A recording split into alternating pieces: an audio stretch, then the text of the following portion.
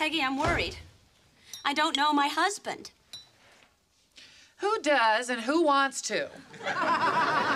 Face it, Marcy, the average man woman relationship has tops three weeks of happiness. You know, it's the happiness you feel when he, he still turns away from you to burp rather than turning towards you and saying, pull my finger. it's when he at least tries to hit the toilet. When during sex, you're not lying there thinking, what the hell is he doing? you know, you're lucky. Your three weeks of happiness are ahead of you. Who cares who he is? Look at him. He's gorgeous. I say, saddle up, ride, and if he breaks a leg, shoot him. Jeff, all kidding aside, run. Run hard, run now, run silent, run deep.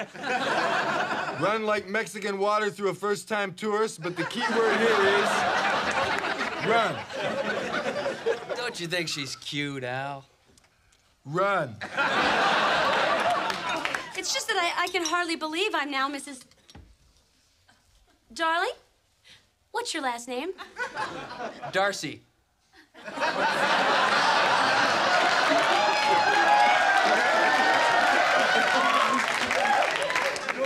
Marcy D'Arcy?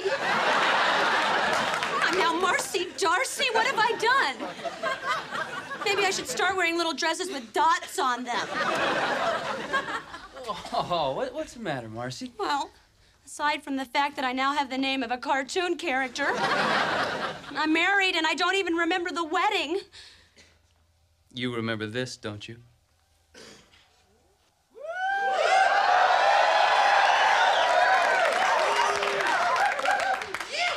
Oh, Al.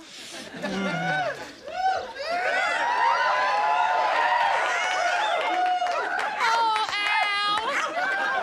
Oh, Al. Oh, please, there are two drunks who haven't brushed their teeth yet. Uh, cut that out, you two. We don't do that in our house. And I refuse to let strangers lay their vile customs at our doorstep. And the Yankees take the field. You, you know what I was just thinking? That hangovers do come true? No, I, actually, I was thinking if you want to have a wedding to remember, let's have one.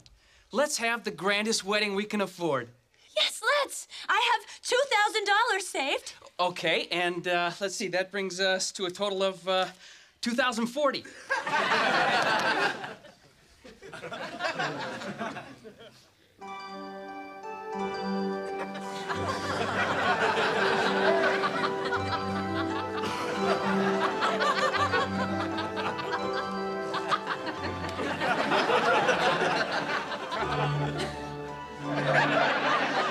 can book a hall. Oh, now you can't book a hall. I won't hear of that. How impersonal.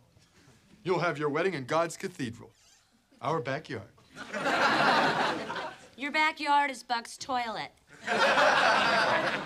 No, your backyard is Buck's toilet. now, what do you say? I don't know. You think we can trust them? Of course, they look perfectly trustworthy to me. And besides, it's a closer trip to the honeymoon suite. Come on, let's pace it off now.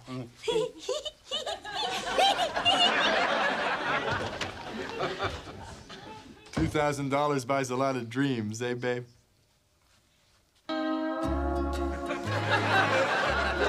Oil you up again, ma'am? I'm sorry your husband fell into that volcano, so he couldn't enjoy Hawaii.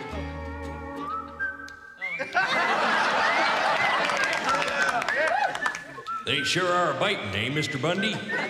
Too bad the wife did a header into that quarry. She sure would have loved your retirement property. Oh, Al. Oh, Peg.